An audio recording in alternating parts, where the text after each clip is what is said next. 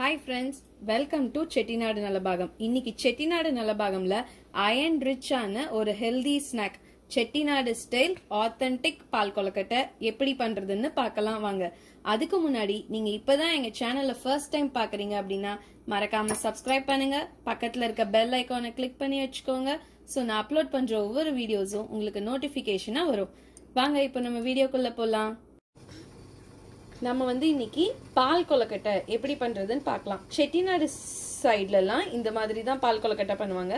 ரொம்ப டேஸ்டா நல்லா இருக்கும். குழந்தைங்களுக்கு ஒரு ஹெல்தியான ஈவினிங் ஸ்நாக்ஸ் ஆச்சு நம்ம காலையில டிஃபன் பண்ணும்போது கூட சைட்ல ஸ்வீட் பண்றதுக்கு இது வந்து ஹெல்தி ஸ்வீட்ல ஒரு ஆப்ஷனா இருக்கும். இந்த பால் கொலக்கட்டை செய்யறதுக்கு நான் இன்னைக்கு ஒரு கப் அளவுக்கு இடியப்பம் மாவு எடுத்திருக்கேன். இடியப்பம் மாவு இருந்ததுன்னா அதுல செய்யுங்க அதுதான் வந்து ரொம்ப நல்லா இருக்கும். ஸோ ஒரு கப்பு இடியப்ப மாவு இதுக்கு நம்ம வந்து இடியப்பத்துக்கு எப்படி மாவு பிசைவோம்? தண்ணியை வந்து நல்லா தலை தலைன்னு கொதிக்க வச்சு அந்த தண்ணியை ஊற்றி தான் பிசையணும். அப்பதான் மாவு வந்து பாதி வெந்த மாதிரி இருக்கும். அந்த மாதிரி நம்ம குழக்கட்டையும் பிசையணும். அப்பதான் குழக்கட்டை வந்து நல்லா சாஃப்டாக வரும்.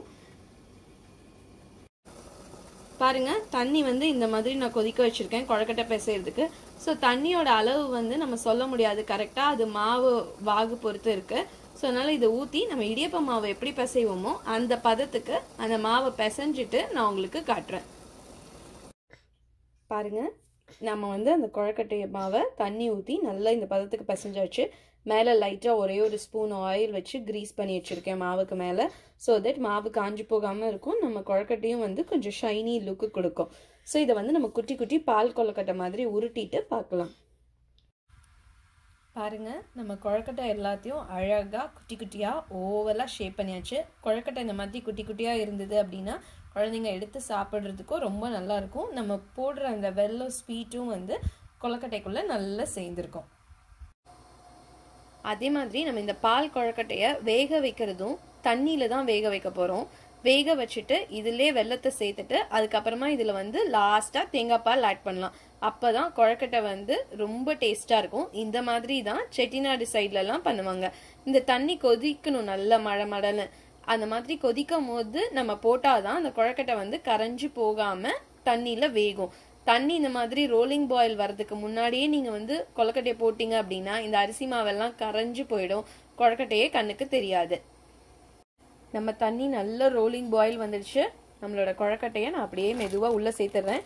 நான் சொல்ல மறந்துட்டேன். இதில் தண்ணி வந்து எந்த அளவு வச்சுக்கணும் அப்படின்னா நீங்கள் எந்த கப்பில் மாவு எடுத்தீங்களோ அந்த கப்பில் ரெண்டரை கப்பு கிட்ட தண்ணியை வச்சு இந்த மாதிரி மலமலன்னு கொதிக்க விடுங்க. அந்த அளவு வந்து கரெக்டாக இருக்கும். இது அப்படியே இப்போ வேகும். வெந்ததுக்கு அப்புறமா நான் உங்களுக்கு காமிக்கிறேன். இது அப்படியே இதே தீலே இருக்கட்டும். மீடியம் ஹைல வச்சுக்கோங்க. பாருங்க நம்ம குழக்கட்டையும் வந்து நல்லா வெந்துட்டு இது எப்படியும் ஒரு ஃபைவ் மினிட்ஸ் ஆகும் அது வேகிறதுக்கு. So five to seven minutes வரைக்கும் இது வந்து வேகட்டும். வெந்ததுக்கு அப்புறமா அதை எப்படி செக் பண்ணணும் அப்படின்னு நான் சொல்றேன். பால் கொழுக்கட்டைக்கு நம்ம ஒரு கப் அரிசி மாவு போட்டிருந்தோம்ல அதுக்கு வந்து எந்த கப்பால் நம்ம அரிசி மாவு எடுக்கிறோமோ அதே கப்பில் வெல்லம் வந்து ரெண்டு கப் எடுத்துக்கணும். ஸோ ஒன்னே முக்கால்லேருந்து ரெண்டு கப் கிட்ட நம்ம வெல்லம் போட்டிருக்கோம். இதில் வந்து நம்ம அது முழுகிற அளவுக்கு தண்ணி ஊற்றி நம்ம வடிகட்டி அந்த வெள்ளத்தில் இருக்க தூசு மண் எல்லாத்தையும் எடுத்து வச்சுக்கணும். நம்ம வெல்லம் போட்டு பண்ணுறது தான் பெஸ்ட்டு ஏன்னா அது வந்து அயன் ரிச்சாக இருக்கும். உங்களுக்கு வெல்லம் இல்லை அப்படின்னா நீங்கள் சுகர் கூட போட்டு பண்ணிக்கலாம். அது உங்கள் உங்கள் இஷ்டம். ஸோ நம்ம இதை வந்து முழுகிற அளவுக்கு தண்ணி ஊற்றிட்டு இதை பால் ம பாகு மாதிரி காய்ச்ச வேண்டாம். ஜஸ்ட் சும்மா காய்ச்சி அந்த தூசு மண்ணை மட்டும் வடிகட்டிக்கலாம். பாருங்க நான் தண்ணி வந்து இந்த அளவுக்கு தான் ஆட் பண்ணியிருக்கேன். இது போதும். பாருங்க வெல்லம் வந்து நல்லா கரைஞ்சிருச்சு. நான் வந்து அடுப்பை ஆஃப் பண்ணிட்டேன். பாகு கன்சிஸ்டன்சிலாம் எதுவுமே தேவையில்லை. இதை நம்ம அந்த குழக்கட்டை வெந்ததுக்கு அப்புறமா அதில் அப்படியே சேர்த்து விட்டுடலாம் வடிகட்டிட்டு ஸோ இதை ஒரு சைடு அப்படியே இறக்கி வச்சுருக்கேன்.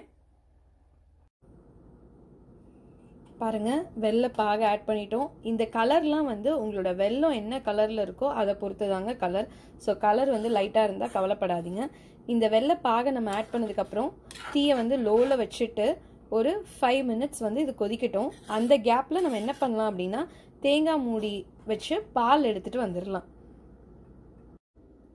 ஒரே ஒரு சிட்டிகை கிட்ட ஏலக்காய் தூள் சேர்த்துட்டேன். இதை கலந்து விட்டுட்டு ஒரு ஃபைவ் டென் மினிட்ஸ் கிட்ட இது கூல்டவுன் ஆட்டும். டென் டு ஃபிஃப்டீன் மினிட்ஸ் கூட ஆகலாம். கூல்டவுன் ஆனதுக்கு அப்புறமா நம்ம வந்து நம்ம எடுத்து வச்சுருக்க தேங்காய் பாலை இதில் சேர்த்துடலாம்.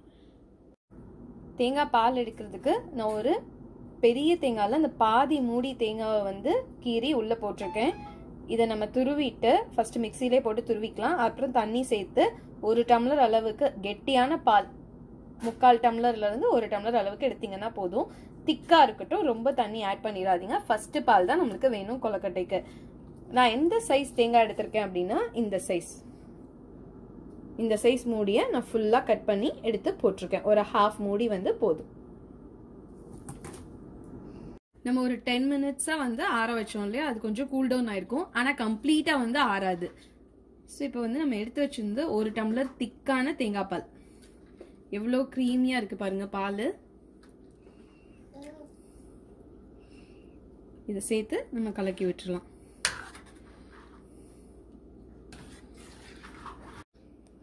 அவ்வளோதான் தேங்காய் பாலை கலந்ததுக்கப்புறம் நம்மளோட பால் கொலக்கட்டை சூப்பராக ரெடி ஆயிடுச்சு.